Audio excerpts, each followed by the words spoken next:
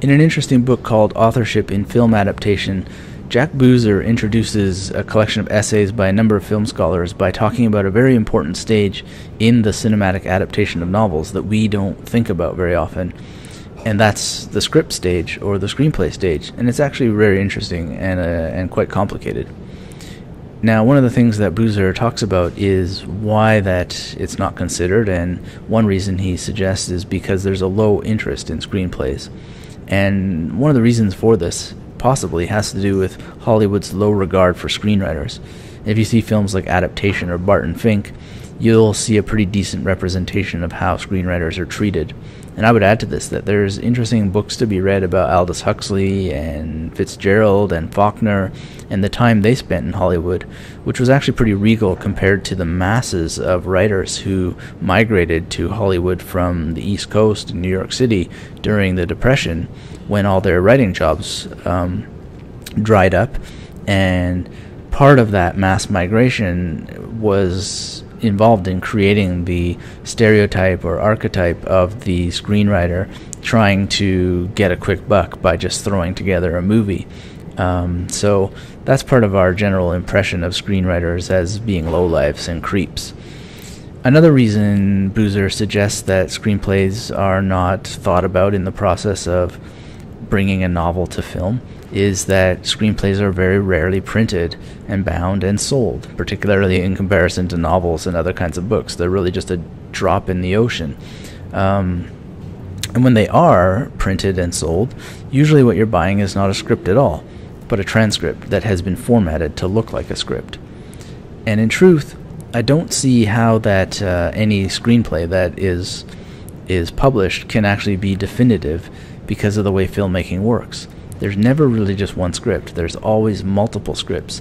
And if you've ever seen uh, a script on a screenplay, or sorry, a script on a set, there's often multiple colored pages and all kinds of uh, sticky notes hanging off of it because on a day to day basis, changes are made to pages, new scenes are added, new, new lines of dialogue, and so forth. It's a very fluid and flexible thing and the idea that at the end there's going to be a definitive document is really unrealistic. So we need to really remember that adaptations, just like any film, whether the film is based on a novel or not, all films are scripted and based on scripts. And an interesting thing that Boozer gets into is that scripts are the cornerstone of not only how a film is made, but how it gets sold. So, before a film is even made, the screenplay, even screenplays that are based on novels, help determine budget. And the screenplay helps attract various levels of talent to a project. And there again, there may be changes to to the script when an actor reads it, gives various input to a producer or a screenwriter, and things get changed. Another thing that the script is used for is to leverage uh, money from particular investors that might be interested in working on the film or contributing to it financially. And this happens long before pre-production stage. And they will be they'll be keenly interested in using that script before uh, a single second is shot to get distribution deals in place and to uh, if possible, arrange DVD sales long in advance. And in certain cases, the, they'll want to be producing or thinking about producing synergy products like T-shirts and and posters and hats and uh, whatever frisbees that have the name of the film on it. An interesting thing to add here too are Kickstarter campaigns that have emerged recently.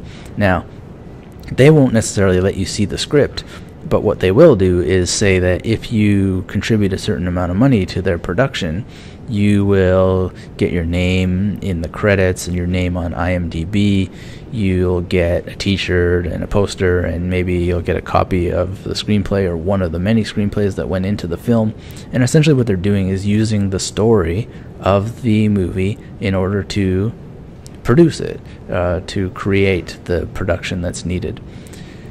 So, to sum up, there's always a difference between the script that's used to get money from an investor and to attract talent, and the script that's used to make a film.